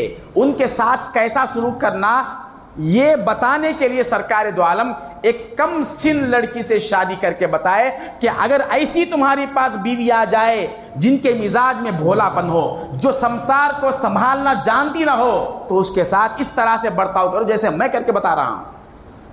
हर औरत एक मिजाज की नहीं होती ना? बाज औरतें सख्त मिजाज की होती, तबीयत खुद सख्त रहती। बात करना करना लड़ाई से बात शुरू करती हो। और सही बात कर रहा हूँ, अजवाज मुतहरात में से एक नहीं, दो बीवियाँ ऐसी थी जो सख्त कलाम थी, सख्त बात करने वाली थी। यह सरकार दो आलम ने चाहकर उनसे आगत फरमाया, ताकि तुम्हारे निकाह में अगर झगड़ा करने वाली, सख्त बात करने वाली बीवी आ जाए तो उसके साथ तुम ऐसा सलूक करो जैसा मैं करके बता रहा हूँ। वो एक एक जैनब बिनते जहश दूसरी हज़रत हफ्सा बिनते उमर बिन खत्ताब। एक हज़रत उमर फारूक रज़ी अल्लाह की बीवी थी और बेटी थी, एक जो है जैनब थी। सरकार द्वालम ने उन मसाइल को हल करके बताया कि तुम ज़िंदगी गुजारो। आज कितने खानदान मुसलमान नहीं, मुसलमान, गैर मुसलमान। जो शख्स अपने घर में कामयाब नहीं, वो बाहर कामयाब नहीं है। सबसे बड़ा मसला हमारे घर और ख़ानदान को संभालने का है। इस चीज़ को संभालने के लिए सरकार द्वारा ने नौ शादियाँ फरमाई। अब बताइए, ये नौ शादियाँ जो फरमाई, पचास साल तक, पचास साल तक तकरीबन हज़रत खदिया की निकाह में ही, खदिया खुद अकेली तनहा बीवी थी, उसके अलावा किसी से निकाह नहीं फरमाए। आखिर के 12 साल की उम्र में तमाम अजवाज से शादी फरमाए हुजूर। तमाम अजवाज से तरतीब बार हुजूर ने शादी फरमाई और वो चुन चुन कर इख्तियार फरमाया। कुरान भी खुद कह रहा है अय महबूब, हमने चुन चुन कर आपके जोजियत में इनको दिया है ताकि आप अपनी उम्मत की तरबियत कर सको। अपनी उम्मत को सिखाओ। ये बात थी असल में सरकार द्वालम की जात की। ये पूरा नहीं पड़े सिर्फ़ इतना देखे कि इतनी शादी की ज़रूरत क्या थी। ये क्यों करना था? ये उम्र में क्यों कर रहा था? ये सरसरी मुताले से नहीं होता, ये मुसलमानों को भी नहीं मालूम। जब ये इश्यू हो गया तो मुसलमानों में शक व शुबा शुरू हो गया कि सरकार द्वारा ने ऐसा क्यों फरमाया। इसलिए जवाब सामने वाले के गलत अमल को दलील में लाकर हमने दिया, ये गलत है। ये हुजूर के शान में बेअदबी है वो। गोया कि हमने मान लिया कि हुजूर की गलती है नौज बिल्ला नौज बिल्ला यहाँ तक के हज़रत आयशा रज़ी अल्लाह तला जिस वक्त सरकार दो आलम के पास रुखसत होकर आई तो उनके पास खिलौने थे। हुजूर उनके साथ बैठ के खेलते भी थे। कभी बीवी से खेला भी करो। हुजूर बता रहे हैं, ये कायनात की अफजल तरीन जात है। उलूहियत के सारे असरार जिस जात में मख्फी है, उनका अमल यह है कि एक औरत के साथ बैठकर खेल रहे हैं। और वो खिलौने भी हदीस में आई ये बात। वो खिलौने घोड़े थे पर वाले घोड़े थे। पर वाले ये भी नहीं छुपा, सीरत इतनी ओपन है। पर वाले घोड़े थे। हुजूर जाकर कहने लगे अय आयशा, मोहब्बत से सरकार द्वारा दो नाम रखे थे। हम बीवी क्या बोल के बुलाते जितने गलीज नाम है वो सब लेके बुलाते सरकार द्वारा दो अच्छे नाम रखे थे। एक था हुमैरा। हुमैरा कहते हैं, गोरी औरत को। गोरी कह के पुकारते थे मतलब। सुर्ख औरत। एक था हबीबती, या हबीबती। हबीबती किसको कहते हैं? महबूब को कहते हैं। महबूब। ये दो लफ्ज लेकर कहते थे अय हुमैरा, ये घोड़ों को पर कब से आ गए? तो हज़रत आयशा बिल्कुल भोरी थी, कहने लगी अल्लाह के रसूल, क्या आपको नहीं मालूम कि सुलेमान सलाम के घोड़ घोड़े तो हवा में उड़ते थे? क्या उनके घोड़ों के पर नहीं थे तो वो हवा में उड़ रहे थे। तो हुजूर फरमाते, मैं ये बात सुनकर खामोश हो गया। एक औरत थी मुझे जो खामोश कर दी। उन्होंने मुझे खामोश कर दिया, मैं कुछ और बोल ना सका। उनके घोड़ों को पर थे ये सुलेमान के घोड़े हैं, जिनसे मैं खेल रही हूँ।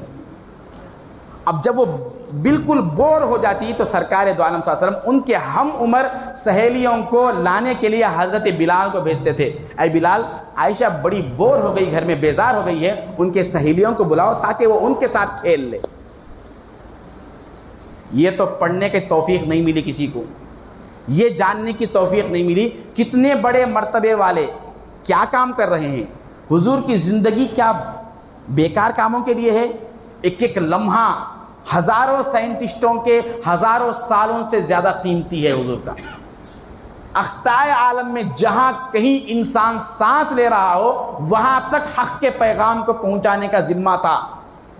तेईस साल के उम्र में, तेईस साल के अरसे में इतना बड़ा जिम्मा है, न मीडिया, न कोई और ज़रिया।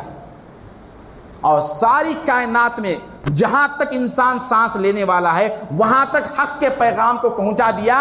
और हाल यह है, ये घर में अपनी बीवी के साथ, उसकी दिल बहलाई के लिए उसके साथ खेल भी रहे हैं। यह है सरकार दो आलम की सीरत पाक।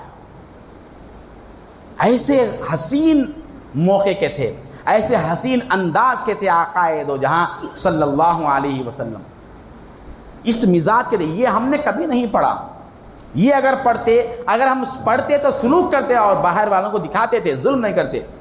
अब हम तो शादी करने से पहले उस बीवी के सारे खानदान पर जुल्म करके ही लाते ना हम। ये हमारे मुसलमानों को दलिंदरागी लग गई। बहुत बड़ी दलिंदरागी लग गई मुसलमानों को। ये हालत है हमारी।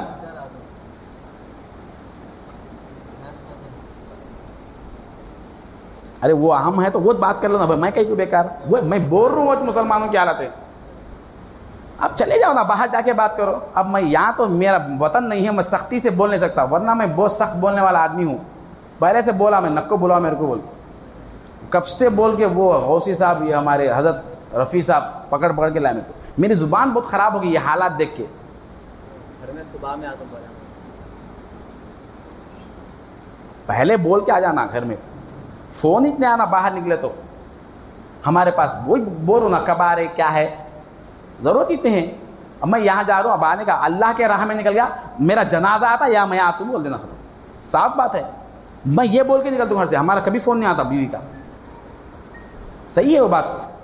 अब आप बोले सब सही है, मगर ये जो ज़िक्र रसूल है, इसके, इससे हटकर दूसरे जानब हमारी तवज्जो गई है।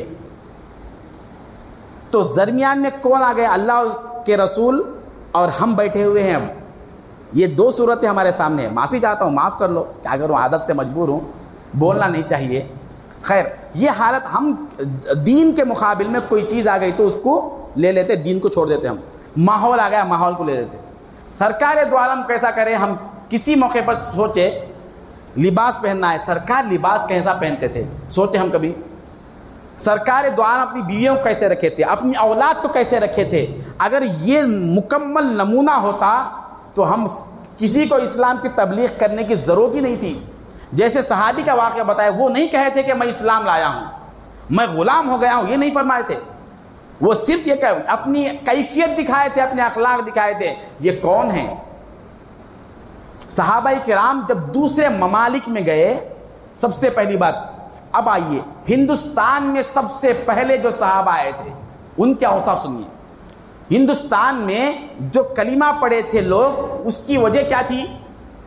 उसकी वजह यह थी, वहाँ के लोग, अरब के लोग यहाँ आ गए थे, सहाबा थे, तिजारत के लिए यहाँ आ गए थे।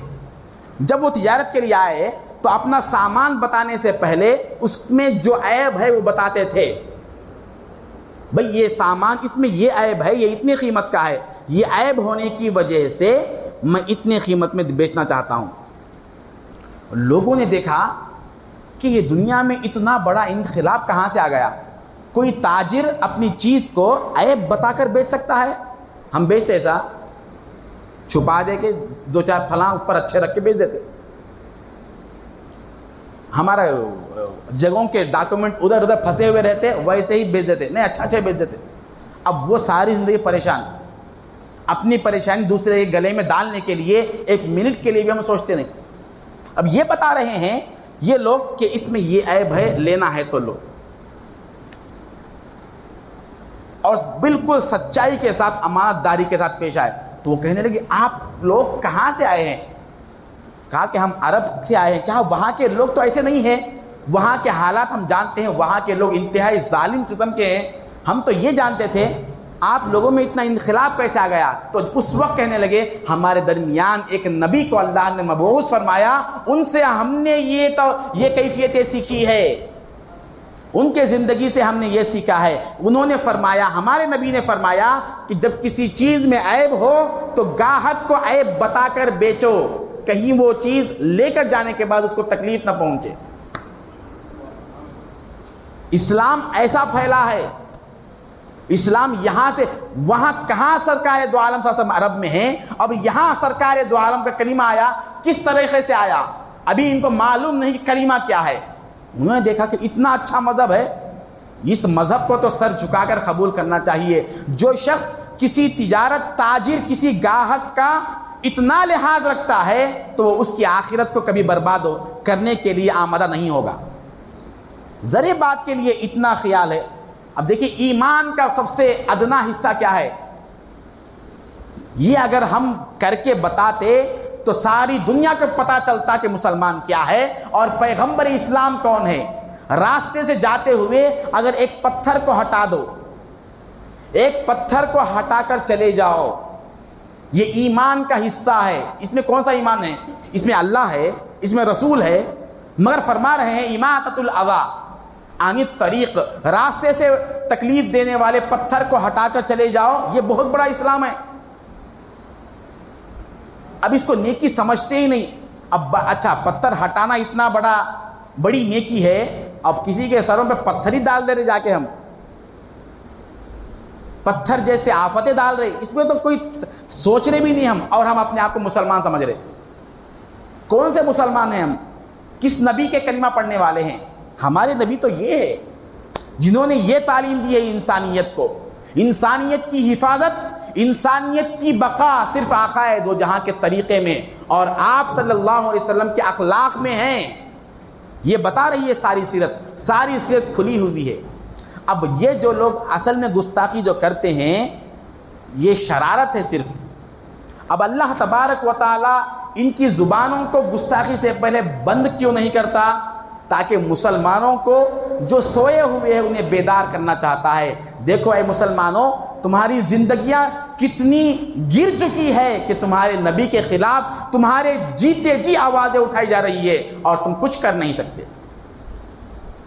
तुम्हारा रोब खत्म हो चुका है। मुसलमानों को डराने के लिए, तकलीफ़ देने के लिए, उनके खिलाफ साजिशें रचने के लिए कोई पीछे हटने के लिए तैयार नहीं है। वरना मुसलमान की शान ये होती थी।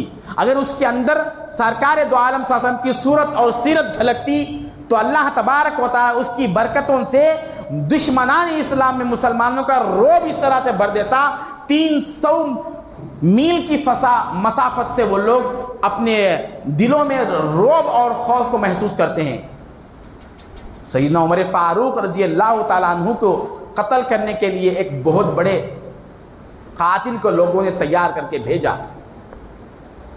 जब वो मदीना मुनवरा में आया, लोग तो इस्लामी लिबास, मुसलमानों का भेष धार कर आया और लोगों से पूछने लगा, तुम्हारे अमीर उलमिन का महल कहाँ है? तो लोगों ने पूछा कि, मालूम होता है कि तुम मदीने में नए नए आए हो। हमारे अमीर का कोई महल वगैरह नहीं होता। जिस तरह आम आदमी सोता है वैसे ही वो अपने आम मामूली घर में सोया करते हैं। कहा कि हम, फिर मैं कहाँ जाकर मिलूँ? तो लोगों ने कहा, शायद वो किसी बाग में किसी झाड़ के नीचे सो गए होंगे। क्या है स्टेटस हमारे पास? हमारे पास स्टेटस क्या है? स्टेटस असल में अल्लाह उसके रसूल के नज़र में अच्छा होना है, दोस्त। अच्छे फ़ोटो उतरने से अच्छे नहीं हो जाते हम। अच्छे लिबास पहनने से अच्छे नहीं हो जाते। ये बता रहे हैं, पता कि किसी बाग में, किसी दरख्त के नीचे सोए होंगे। तो वो खुश हो गया, और तो मारने में बहुत आसानी है। बाग में कोई नहीं होगा। मतलब तनहा सो रहे हैं, आसानी से मार सकूँगा। ये सुन के वो उस बाग की तरफ़ गए। जाकर देखे तो एक दरख्त के नीचे आप सोए हुए हैं, और सर के नीचे ईंट तकिए की जगह है। सर के नीचे ईंट रखे हुए हैं और आराम से सो रहे हैं। वो और खुश हो गया। अब तो उठाने की भी ज़रूरत नहीं है। वैसे ही नींद में ही मैं कत्ल कर दूँगा। जैसे ही वो खरीब गया और चेहरे उमर फारूक पर नज़र जो गिरी तो उसके अंदर रोब आ गया। हाथ से तलवार छूट गई। हाथ से तलवार छूट गई। हज़रत उमर फारूक रज़ी अल्लाह तु की आँख खुलती है। अब तलवार छूटने की आवाज़ सुनकर आँख खुलती है और उठकर बैठती हैं, बैठ कहते हैं कि, अरे वो अजनबी, तुम यहाँ कैसे आए हो? क्या मदद चाहते हो? कहा कि, तुम अमीर हो मुसलमानों के? हाँ लोग मुझे इसी तरह से कुछ पुकारते हैं। मैं तो उस लायक नहीं हूँ। कहा कि, फिर तुम्हारा मुहाफिज नहीं है? इतने बड़े आदि दुनिया से जायद, कित्ते के बादशाह हो, कोई मुहाफिज, कोई सिक्योरिटी नहीं है? तो हज़रत उमर फरमाने लगे, फल्लाहु क्यों नहीं? मेरा मुहाफिज मेरे अंदर है, मेरे साथ है। मैं उसी के भरोसे पे सो रहा हूँ। अगर किसी गुलाम को रख लेता तो क्या मालूम वो खुद मेरा खातिल बन सकता था? कौन मारे इंदिरा गांधी को? अब ये खुश हो रहे हैं कि मेरे पास सिक्योरिटी है। फरिश्ते हैं वो। दो पैसे ज़्यादा मिल गए तो वो गन उस तरफ़ पलटाया इधर पलटा देता। कोई बड़ी बात नहीं है। ऐसा हो के भी है। अब हज़रत उमर फरमा रहे हैं कि फल्लाह खैर हाफिजा, मेरा परवरदिगार, मेरा मुहाफिज है। तो वो कहने लगा, वाकई तुम्हारे बारे में जो सुनकर आया था वो सच है। एक ऐसी भी बादशाहत है जिस बादशाह को ना महल है, ना पहरेदार है, ना कोई मुहाफिज है, फिर भी वो बादशाह है। और उसकी बादशाहत न सिर्फ़ मुसलमानों के कित्तों पर है, बल्कि दुश्मनों के दिल में भी उसकी बादशाहत उसका रोब है। बादशाह तो ये होता है। ये देखा, कहा कि ये रोब ऐसा है, वाकई तुम्हारा मज़हब सच्चा है। तुम्हारे अंदर कुछ कैफियतें हैं जिसकी वजह से यह अवसाफ तुम्हारे आए हैं। ये अलामतें मुसलमानों की है। इस्लामी तारीख भरी पड़ी है। उन्होंने कौन सी तबलीग की? कौन सा बयान किए थे? है तुम्हारे फारूक खाली सो रहे थे, सोकर भी कलिमा पढ़ाया है। गुलामा ने, मुस्तफ़ा ने सोकर भी सोए हुए हैं। वो सोए हुए चेहरों को देखकर भी लोग गिरविदा हो रहे हैं। इस्लाम में दाखिल हो रहे हैं। ये मुसलमानों क्या औसाफ है। ये कैफियत जिसके अंदर अब हमारा हाल ये है हमारा हाल क्या है, हम अच्छी तरह से देख लेंगे। हमारे अंदर गुनाह कबीरा आम हो चुके हैं। इसीलिए अल्लाह ताला झिझोड़ना चाहता है, जिस कौम में गुनाह कबीरा आम हो जाए, उस कौम पर अल्लाह की नुसरत नहीं आती, उस कौम से दीन का कोई काम नहीं होता। दीन के लिए हम सुबह से शाम तक कितना वक्त दिए? मरते ही अब वो इमाम साहब जनाजे के पास ठहर के दुआ करते अल्लाह इनको जन्नतुल फिरदौस में आला मकाम अता फरमा दे। जन्नतुल फिरदौस सरकार द्वालम की जन्नत है। अब उसको ये जाने वाला, अब इसकी हालत ये है, कई लोगों को डुबा दिया, कई लोगों को तिरा दिया क्या क्या काम किए और उसके लिए दुआ कर रहे क्या ये लायक है नहीं है मालूम नहीं। ये कहना था, अल्लाह, इसको बख्श दे कम अज कम। बख्शे गए तो बहुत बड़ी बात है। और उम्मीदें क्या है? मरते ही ऐसी जन्नत किसी को नहीं मिलना, वैसे मुझे मिलना। ये आरज़ू है हमारी। है तो अबू, इमाम आज़म अबू हनीफा रहमत फरमाते थे कि आए लोगों, तुम्हें मालूम है कि दुनिया में हशर के दिन सबसे ताज्जुब वाला मंजर क्या होगा? मालूम है तुम्हें? कहा क्या बताइए, क्या मंजर होगा? कहा कि हशर के मैदान में अगर अबू हनीफा बख्शा जाए तो समझो कि इससे ताज्जुब वाला मंजर कोई और नहीं होगा। कि अबू हनीफा और बख्शा जाए, ये नामुमकिन बात है। ये होने वाली बात नहीं है, मगर उसके बावजूद ये बख्शा जाए तो समझो कि ये बहुत बड़ी बात है। हमारा हाल क्या है? हमारी इबादतें क्या है? नमाज़ पढ़ने की तोफीक नहीं, नमाज़ में दिल नहीं लगता, दावतों में दिल अच्छा लगता हमारा। दावतों के लिए तैयार होते, पूरे काम छोड़ लेते, काम में तो काम, आज दावत है भाई, लीव रख के जाते। नमाज़ के लिए नहीं रख सकते हम। कौन सी बड़ी तकलीफ़ है? तो हमारे गले पर कोई छुरी रखा हुआ है, तू नमाज़ हो गया तो खत्म कर दूँगा बोल के। तुम सुन्नते रख तुम दाढ़ी रखे तो तुम्हारा गला उड़ा दूँगा कौन बोला है? वो साहबा थे। गले पर खंजर होती थी, फिर भी ला इल्लल्लाह पढ़ते थे। गले पे खंजर आने के बाद भी ला इलाहा पढ़ते थे। ये जान मेरी नहीं होती, जिसकी है वो एक वक्त ज़रूर लेकर रहेगा। तू ले तो क्या हुआ? जान मेरी समझते ही नहीं थे। आज मुसलमान सबसे ज़्यादा खौफ जदा है, मौत से खौफ जदा है। जान से मोहब्बत, औलाद से मोहब्बत। ये दोनों भी छूटने वाली है, हालाँकि। जो छूटने वाली है, उसे दिल लगा के बैठे हुए हैं। छोड़ते नहीं। घर से मोहब्बत। या तो घर हमको छोड़ देगा, या हमें घर को छोड़ देना पड़ेगा। एक एक टैग उसकी चुन चुन के सेलेक्ट करके लगाए सो है हम। एक दिन उसमें से छोड़ के जाना है। वो हकीकी घर जहाँ हमेशा हमेशा के लिए रहना है खियामत तक के लिए जहाँ सोना है, वहाँ हम कभी टेल लगाए हैं। वहाँ तन्हा रहना है। वहाँ के साथी का इंतज़ाम हमने किया। अंधेरा है, अंधेरी कोठड़ी है। क्या हमने रोशनी का इंतज़ाम किया? कभी मालूम किया कि वहाँ रोशनी के लिए क्या इंतज़ाम करना है? वहाँ साथ कौन रहेगा? खियामत एक दिन नहीं, दो दिन नहीं, दोस्त। खियामत तक के लिए रहना है। ये सदका है मोहम्मद रसुल्लाम का, कि अल्लाह ताला कब्र की ज़िंदगी कम करने के लिए आखिर में पैदा फरमाया। आदम की उम्मत हज़ारों साल गुजर गए, आज तक खबरों में है। नू सलाम की उम्मत हज़ारों साल गुजर गए, आज तक कब्रों में है। कब्रों के जजा और सजा को पा रही है। इस उम्मत को सरकार द्वारम ने आखिर में लाने का एहतमाम फरमाया, ताकि इनकी खबर की ज़िंदगी बहुत छोटी छोटी सी हो जाए, हशर में मैं बख्शवा लूँगा। मगर वो छोटी ज़िंदगी भी हम एक रात बगैर सोए के, बगैर सोए के रह नहीं सकते। रात में थोड़ी देर करंट चल गया।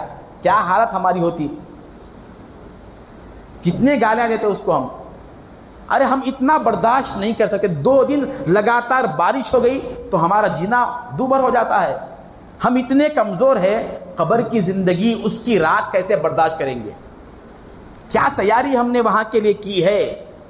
कोई ख्याल नहीं है दोस्त। अपनी जिंदगियों में तब्दीली लाए। इन महफिलों का मकसद ये है कि अगर इस रात के गुजरने के बाद, ज़िंदगी इस रात से पहले वाली ही रही तो इस रात में बैठना हमारा बेकार है। कोई फ़ायदा नहीं है। यह रात हमारी ज़िंदगी के दरमियान एक बहुत बड़ा इनखिलाफ वाला ज़रिया बन जाए तो यह रात कामयाब वाली है। वरना फ़ायदा नहीं है। कितना भी मज़ा कर लेंगे, दुनिया का मज़ा कुछ नहीं है। लोग कितना भी हमें चढ़ाएँगे, सब हमारे दुश्मन है। अल्लाह के सिवा हमारा कोई दोस्त नहीं। अल्लाह के सिवा हमारा कोई दोस्त नहीं।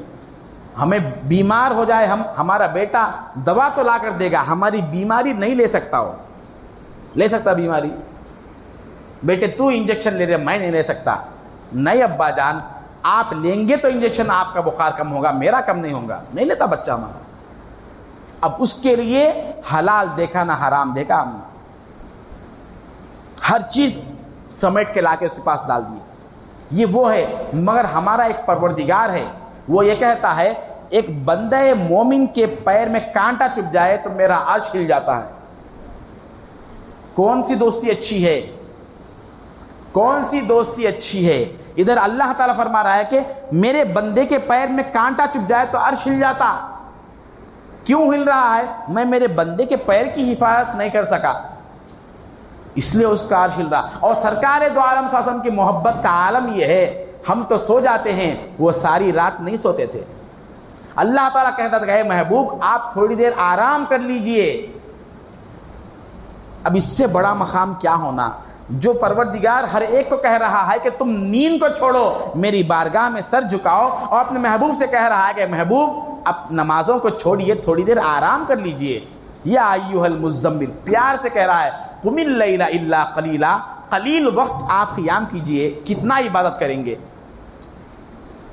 कहीं फरमाया, तोहा कुरान ए महबूब ये लोग नहीं मानते तो छोड़ दीजिए आप। ईमान नहीं लाए, आप उनके पीछे मट पड़िए। आप उनको कुरान सुना दिए आपका जिम्मा खत्म हो गया।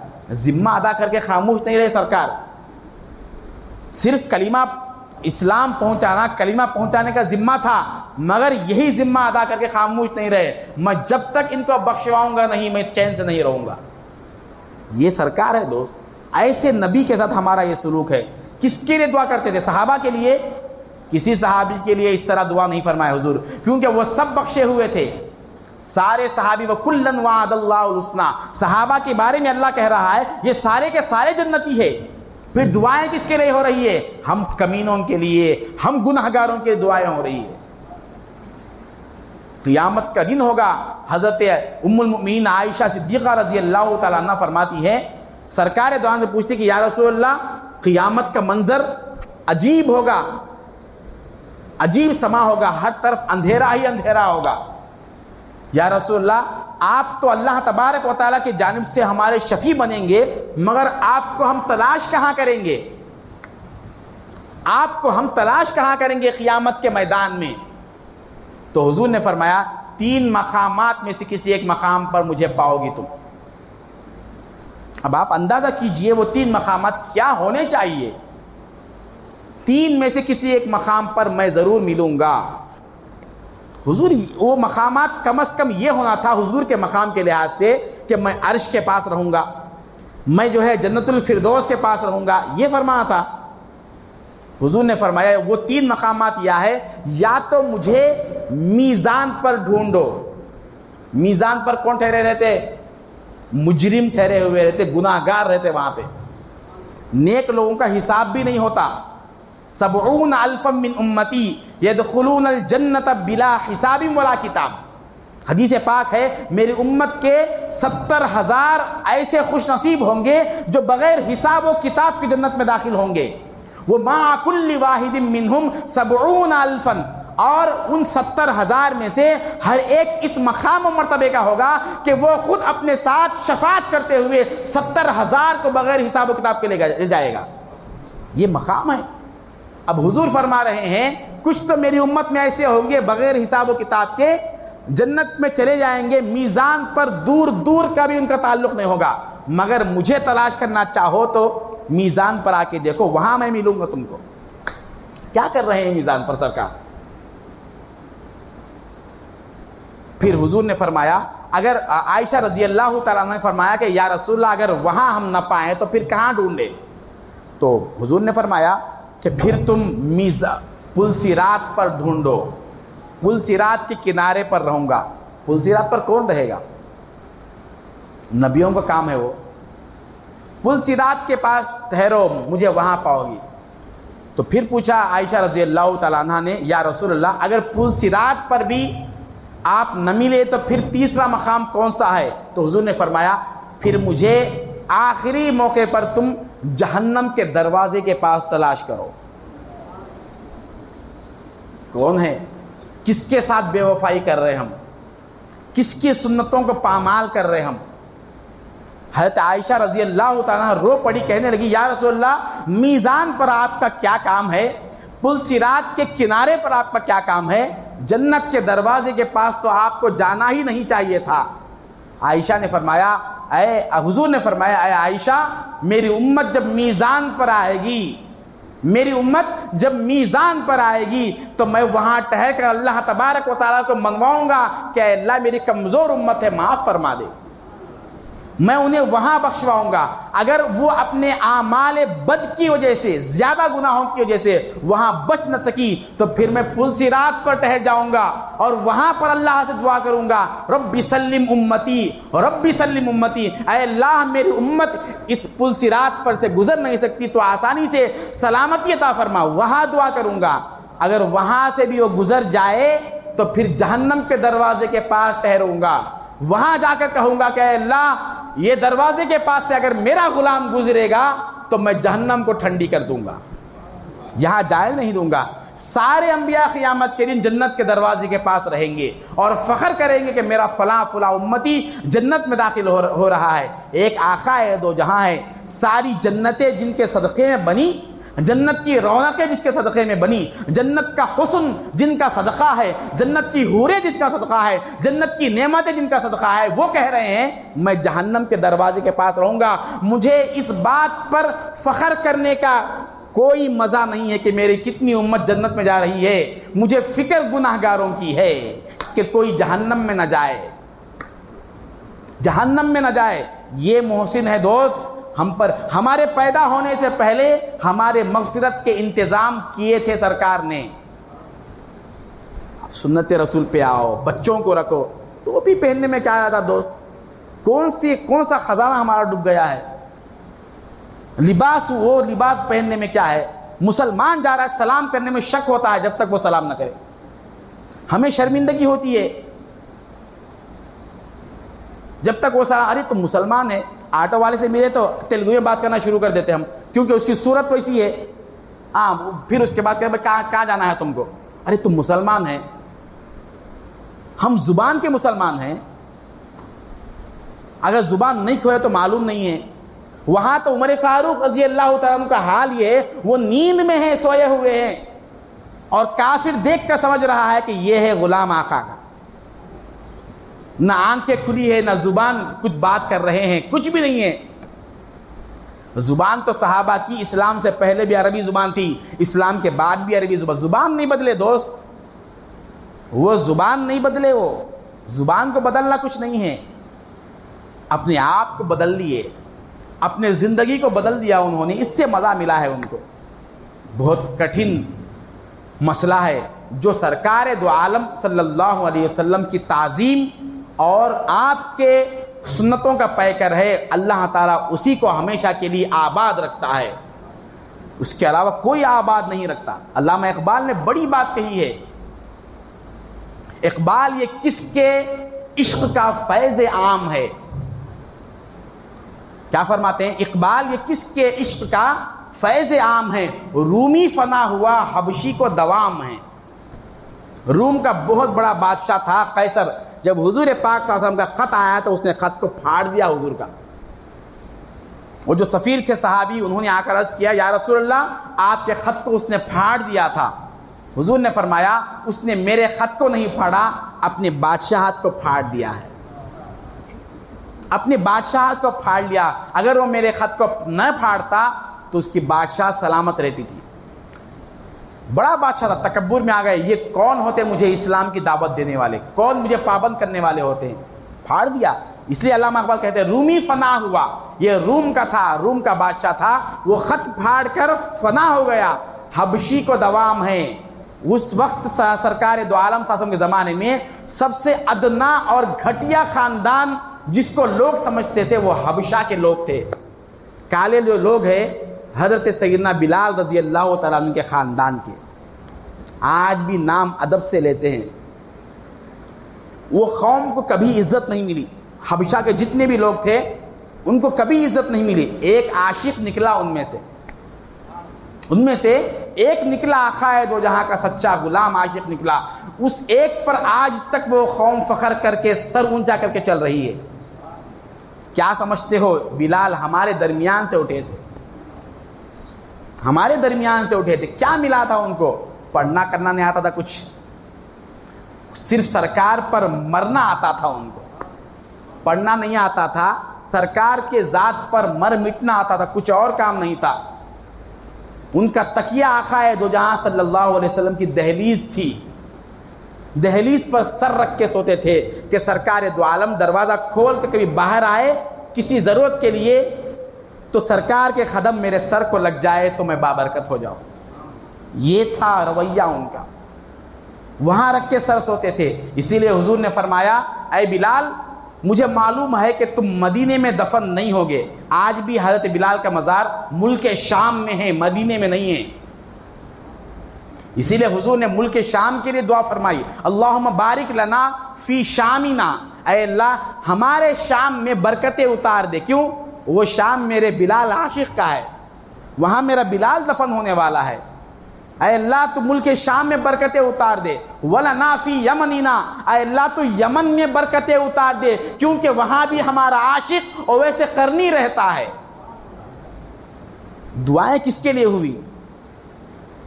अब किसी ने कह दिया, नजद के चंद लोग थे, उन्होंने कह दिया, या रसोल्ला वला नाफी नजदीना, या रसोल्ला या रसोल्ला हमारे नजद के लिए भी दुआ फरमाइए। नजद एक मकाम है, जिसको आज नाम बदल दिया उन्होंने, रियाज नाम रखा। जो रियाज है, वो असल में नजद था। हुजूर ने उस खत्ते के लिए दुआ नहीं फरमाई, इसलिए उन्होंने नाम बदल दिया। नाम बदला तो क्या हुआ? उनको वो बरकतें नहीं मिलेंगी। हुजूर ने फरमाया हुना का जलाजिलु, वयतलाउ बिहा करनो शैतान, मैं नजद के लिए दुआ नहीं करता क्योंकि वहाँ पर यह शैतान उठेगा, शैतान का सिंग ज़ाहिर होगा बदखीरा लोग आएँगे, मैं उसके लिए दुआ नहीं करता। अब हज़रत बिलाल रज़ी अल्लाह फरमाते हैं बिलाल, मुझे मालूम है कि तुम मुल्क के शाम, यहाँ दफन नहीं होंगे, मदीने में दफन नहीं होंगे, लेकिन तुम मुतमिन रहो। तुम जहाँ चाहे वहाँ दफन हो जाओ। लोग जहाँ दफन हो, करे तुमको वहाँ दफन हो जाओ। मगर मैं अल्लाह के ज़ात पर कसम खाकर कहता हूँ, क़ियामत के दिन जब अल्लाह तबारक व ताला सूर फूंकने का हुक्म देगा, तुम जहाँ कहीं दफन हो जाओ। मगर अल्लाह तबारक व ताला क़ियामत के दिन सूर फूंकने के बाद मेरे कदमों से तुम्हें उठाएगा और तुम्हारी ज़ुबान पर अजान के कलिमात होंगे। इकबाल, ये किसके इश्क का फैज आम है? रूमी फना हुआ हबशी को दवाम वो फना हो गया, सिर्फ़ खत को फाड़ कर। सुबह से शाम तक हज़ारों सुनतों को हम फाड़ रहे हैं। हमारा क्या हाल होगा? हम कहाँ से आबाद रहेंगे?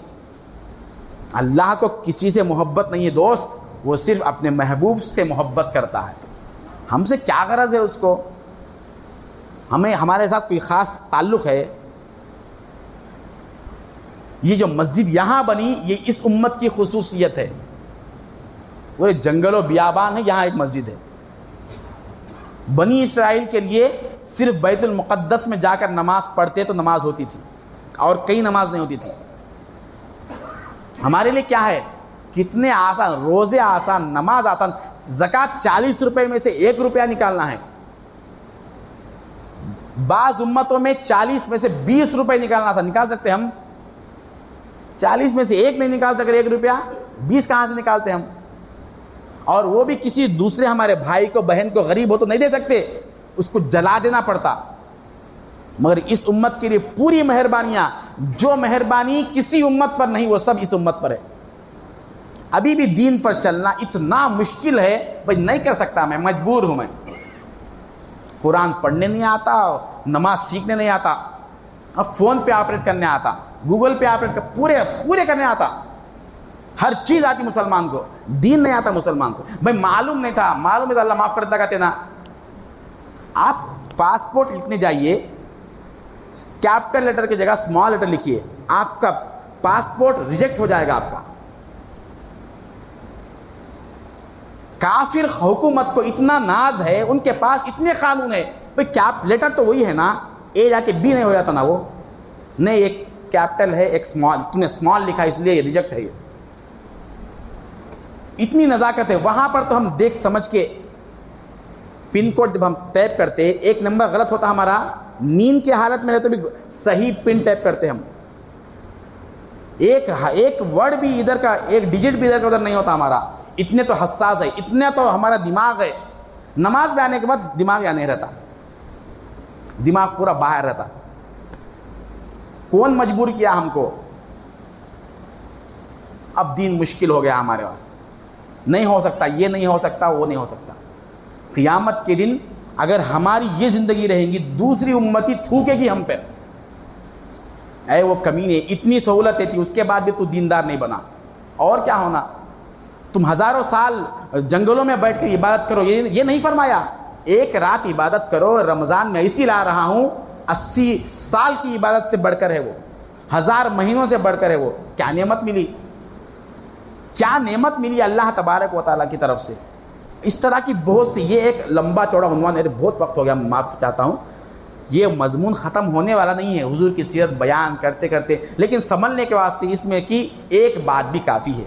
मैं अपने बात को ख़त्म करता हूँ, ज़्यादा वक्त ले लिया और कुछ एक्स्ट्रा बोल दिया हूँ तो दिल को तकलीफ़ दिया हूँ तो माफ़ी चाहता हूँ। ये दिल को तकलीफ़ नहीं दिया, आप महसूस करें तो है, वरना ऐसी बात मैं कुरान हदीस आपके सामने रखा, फिर आपका इख्तियार है। माजरत चाहता हूँ उसके बावजूद और अल्लाह से दुआ करता हूँ कि अल्लाह जो कुछ कहा गया, सुना गया, अमल की तोफ़ी अता फरमा। हमारे हाल पर रहम फरमा। तेरे महबूब का सदक़ा अता फरमा।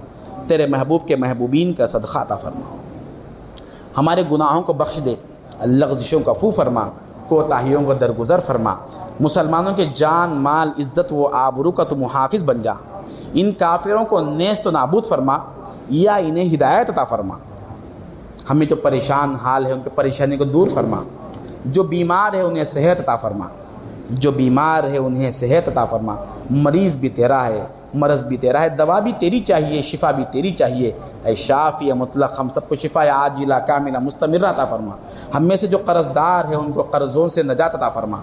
उसकी अदायगी में आसानी अता फरमा। उसकी ज़िल्लत और रसवाई से महफूज फरमा। हमारे घरों से बेदीनी को दूर फरमा। दीन को कायम फरमा। हमारे घरों में जो बेटियाँ बैठी हैं, उनके जोड़ों का इंतज़ाम फरमा। गैब से उनकी शादियों का इंतज़ाम फरमा। हमारे घरों में रहमतें, बरकतें, नुसरत नाजिल फरमा। हमारी तजारतों में तरक्की अता फरमा। कारोबार में बरकत अता फरमा। हमारा ख़ातिमा बिल खैर फरमा। कलीम तयबा पर हमारा ख़ातिमा फरमा। कलीम शहाद पर हमारा ख़ातिमा फरमा। जख्त ख़बर से महफूज फरमा। तेरे अलिया के साथ हमारा हशर फरमा। सरकार दो आलम का दामन नसीब फरमा।